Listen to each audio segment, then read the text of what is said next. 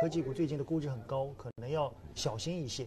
那从长期来看，有没有 你觉得可以长期关注的？最近题材太多了，我觉得要找一些能够长期关注的东西，可能更适合投资者。嗯，好的。其实先来做一个定性，我觉得第一个阶段这个科技股的一个炒作，嗯，已经差不多结束了。嗯，第一阶段结束了。因为第一第一个阶段，我们看到资金行进的一个路径啊，它就是按照去年八月份那个信息消费的三年行动计划。对，其实从最早的五 G 作为支点，后面进入到。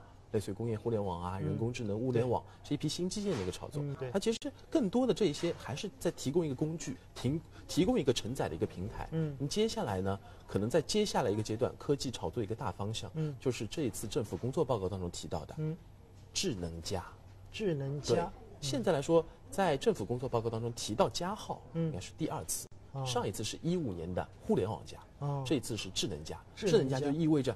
我把所有的那些新兴的技术、新兴的工具，我和实体经济进行一个深度的一个融合嘛？对，我融合到哪里，哪里就是一个加号。嗯，比如说电网加上智能，不就是智能电网嘛？对，对，未来可能更多的是具体的某一块的一个应用。嗯，但是这当中这个中场休息啊，我认为可能时间要花的久一点，大家要保持一定的耐心了。